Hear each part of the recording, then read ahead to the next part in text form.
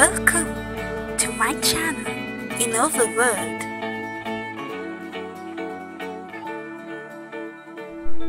Hey guys, once again welcome back to my channel. This tutorial will be highly effective for aeronautical and mechanical engineering students and especially those who are preparing for competitive examination. okay let's start so first let me read the question a beam of z section is subjected to a bending moment mx having its vector direction along the z axis as shown in figure. Calculate the maximum tensile stress sigma t and the maximum compressive stress sigma c. If the moment mx equals to 4 kilonewton meter under the direction of B equals to 90 mm and D equals to 180 mm and T the thickness is 15 mm. Now see the figure.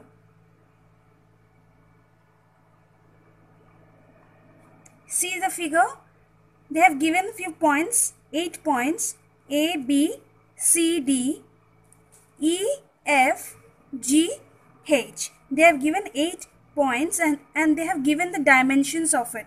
This total, this flange of 90 mm and here also the flange of 90 mm and the wave height is around 150 mm and that each thickness is 15 mm here also 15 mm.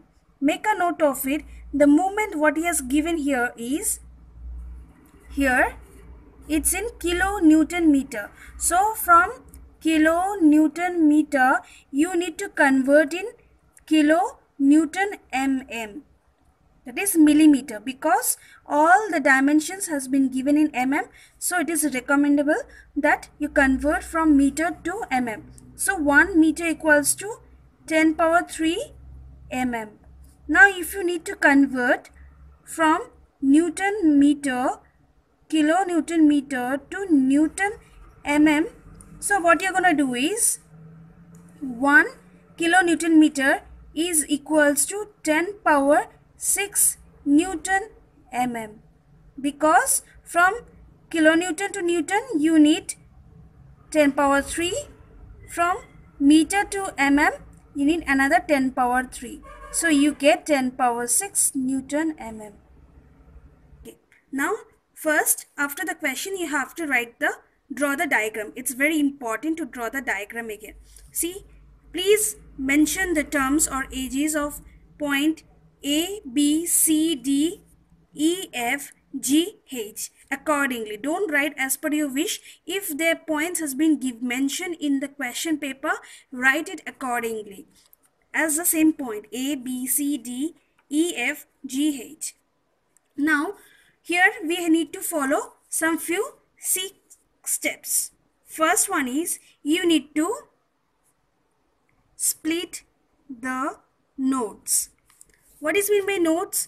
Here we have like this. I'm gonna split it like this. This is node 1. That means this is forming one rectangular bar. So I will made as node 1. Second I will made this one as node 2. I will join from here. Name this as after GF I and this one I will name as J. Imaginary line. Okay. So this will become 1 bar 2 or node 2. Now this one this JHFEG will be your node 3. So I splitted in node 1, 2 and 3. Okay. Then Second is you have to form a table. In the table, for each nodes you have to write the breadth, depth.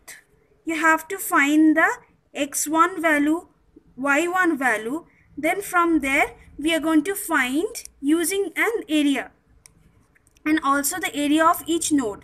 Area of each node. Using that, we are going to find the centroid.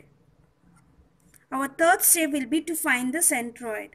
Then the fourth step will be to find the second moment of area and the product moment of area in xy axis. We need to find Ixx, Iyy and Ixy. After finding this, you need to substitute this value in sigma value that is bending stress value. From there you will already in this is I'm gonna solve in K method. Please make a note of it. I'm gonna solve it using K method. I'm going to solve using K method. So in K method, you know the formula.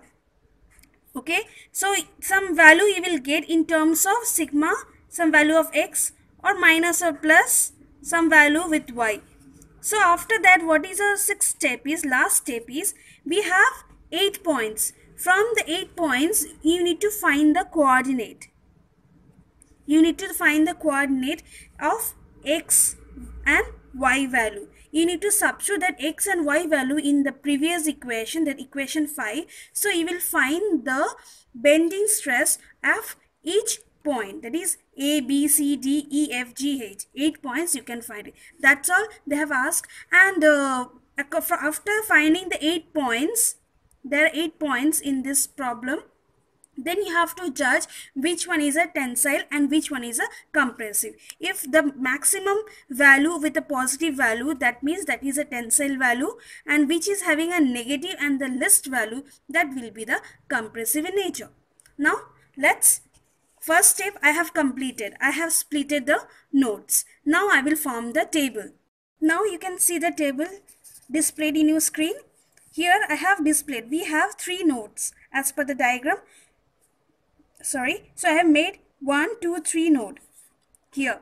Now here B D A X and Y. B is that breadth. D is the depth of that uh, each element. A is the area. X and Y I will explain later how to find the X and Y. Now first let's see the diagram. See the section 1 okay before starting it, you have to mention the dimensions. This is we have 90 mm. Here we have 15 mm. From here it's 150 mm. Here till here we have 150 mm. Here also again we have 90 mm.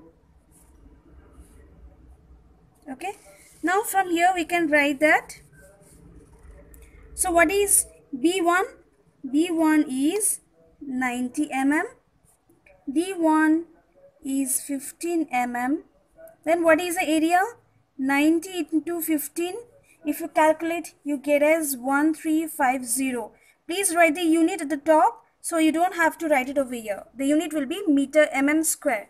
1350. Okay, I will fill this one later. Then what is B2? B2 is this one will be the B2. B2 will be 15 mm. D2 is D is a, this one that is 150 mm. Now find the area 15 into 150. What you get is 2250 mm cube mm square. Then similarly find B3. See the diagram B3 this is B3 so this is the uh, length 90 mm D3 but D3 is 15 mm this is D3 this is D3 now you multiply it 90 into 15 you get as 1350 mm square. Now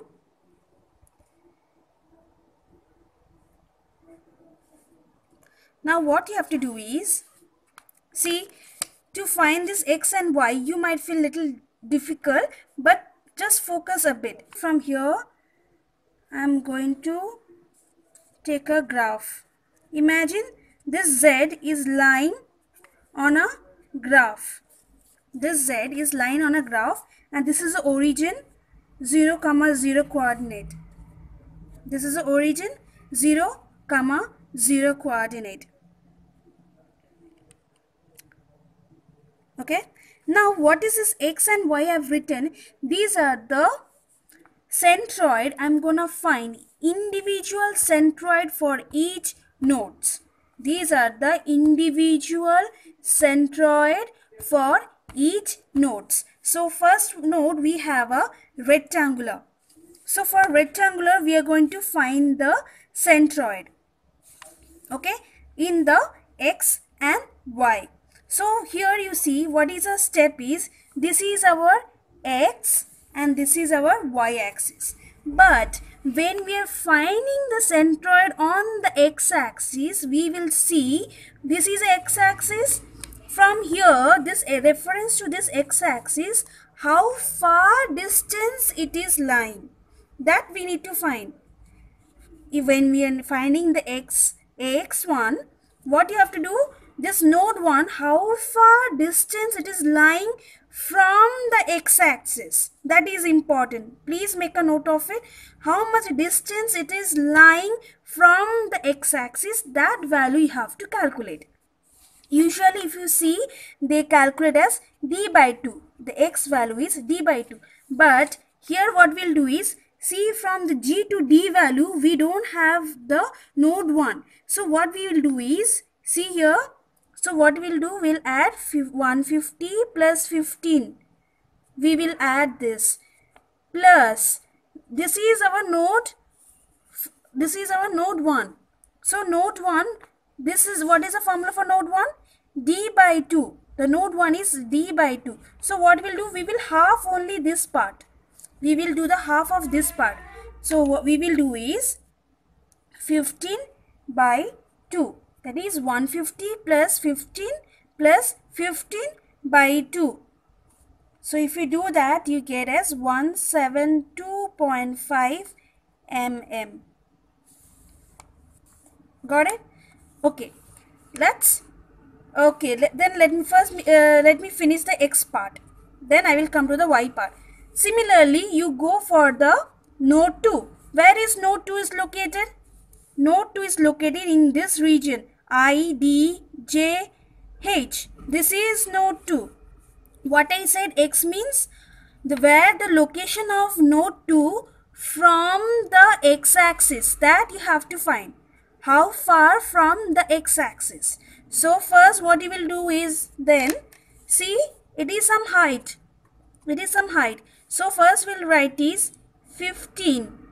15 plus See, this is our note.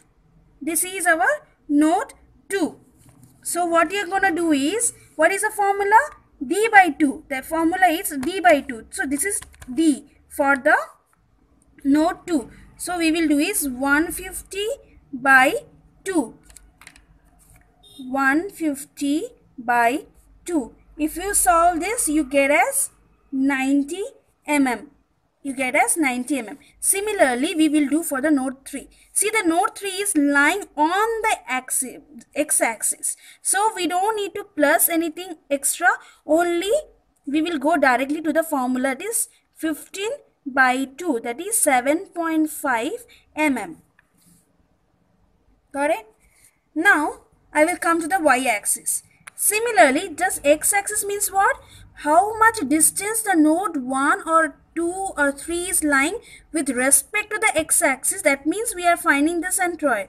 Similarly for y-axis what will happen is how far distance it is lying from the y-axis. How far distance it is lying from the y-axis like how we can find the y. See the node 1 in the diagram node 1 node 1 see here it is here this is y-axis. This is y-axis. This is node 1. So, it is lying on it. So, we will simply, what we will do is, simply, we will do the total breadth is, the formula is, y bar formula is b by 2. y bar formula is b by 2 breadth. So, 90 by 2, we will get as 45 mm. Please make sure the units here, this is a problematic paper, you have to focus on the units. Now, now you see this one, the node 2. So before finding node 2, see the node 2 is some distance away from the y-axis and here it lies. So before that you it is very important you need to find this distance. What is this distance? How you can find that he, from this point to this point is how much? 90 degrees. This width is how much? Is 15. So 90 minus 15 you get 75. So this node 2 is how much? 75 mm away from it. So you need to plus that value. Here you see, so here when you find 75 plus 15 by 2 that is usual formula is b by 2. So the breadth that is a node 2 value b by 2 value. So when you find that what you get this is come 7.5 so you get 82.5 mm. Got it? Okay. Now similarly look to the node 3.